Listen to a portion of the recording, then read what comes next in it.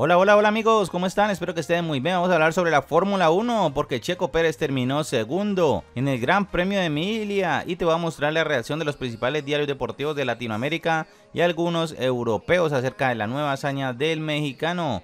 Increíble Gran Premio de Emilia Romagna, señores.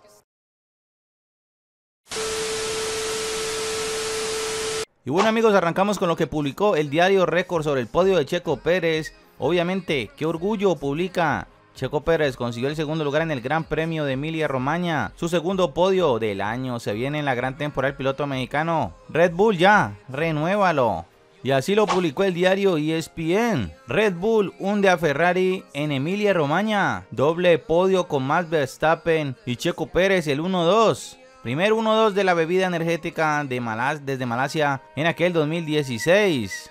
Por su parte, así lo publicó el diario Sport Center España. Otro segundo lugar para Sergio Pérez. Fin de semana espectacular para Checo que suma otro podio para su bolsillo. Como es esta imagen y portada de ESPN.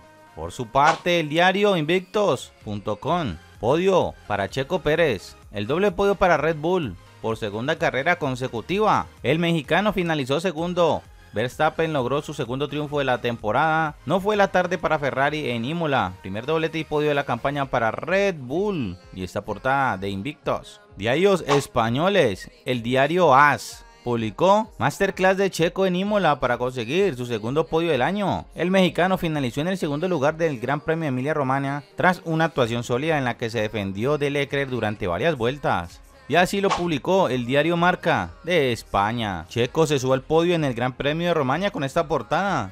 Por su parte, diarios italianos, el diario La Gaceta lo Sport, con este título y portada. En la Fórmula 1, Verstappen y Checo Pérez conquistan Imola.